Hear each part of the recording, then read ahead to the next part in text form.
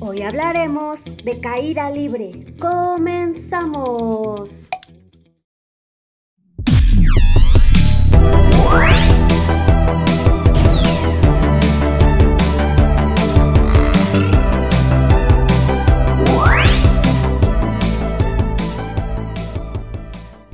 El otro día iba caminando en el parque cuando de repente me regalaron una pequeña sorpresa. Y como de todo lo malo siempre surge algo bueno, pues se me ocurrió hablar de caída libre. Todo cuerpo que cae libremente al vacío su aceleración será de 9.8 metros sobre segundos al cuadrado, siempre y cuando inicie con una velocidad igual a cero. Así es, los cuerpos son atraídos hacia el centro de la Tierra, por eso es que consideramos el valor de la gravedad. Otro aspecto importante es que su velocidad va aumentando de manera uniforme con respecto al tiempo. O para que lo puedas entender, la velocidad de los objetos aumenta 9.81 metros sobre segundos al cuadrado por cada segundo de la caída.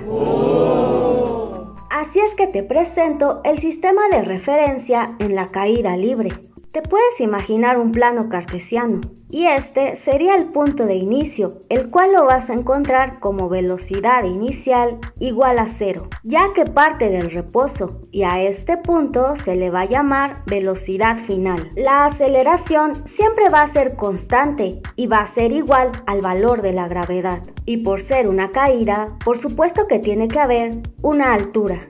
Para calcular este tipo de problemas se utilizan las siguientes fórmulas, donde t es de tiempo y su unidad de medida son los segundos, h es de altura y se mide en metros. La letra v es para calcular velocidad y su unidad de medida son los metros sobre segundos. Reconozco la importancia de este tema en física, así es que he decidido realizar varios videos para que aprendas a utilizar cada una de las fórmulas. Así es que no te pierdas esta increíble serie. Te dejo cada uno de los links en la caja de la descripción. Y el día de hoy vamos a aprender a calcular el tiempo. Accidentalmente se deja caer un ladrillo desde un edificio en construcción de una altura de 80 metros. ¿Cuánto tiempo tomará el ladrillo en llegar al suelo? Considera el valor de la gravedad de 10 metros sobre segundos al cuadrado. Lo primero es recolectar todos los datos posibles. Tenemos una altura de 80 metros y en este caso la gravedad está redondeada a 10 metros sobre segundos al cuadrado. Y con estos datos se puede obtener el tiempo. Ahora viene lo más importante, la fórmula.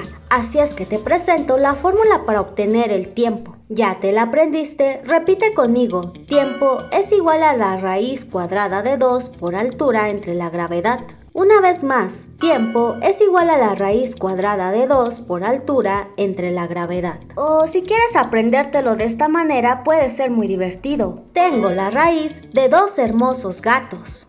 Ahora vamos a hacer la sustitución y las operaciones. Tiempo es igual a la raíz cuadrada de 2 por 80 metros entre 10 metros sobre segundos al cuadrado. 2 por 80, 160 metros. Y 160 entre 10 igual a raíz cuadrada de 16 y queda en segundos al cuadrado porque cancelamos metros con metros. Por último, realizamos la operación de la raíz cuadrada de 16. Por lo tanto, el ladrillo tomó 4 segundos en llegar al suelo. Demasiado fácil, ¿verdad? Espero te sea de ayuda este pequeño video. No olvides suscribirte, compartir y regalarme un buen like.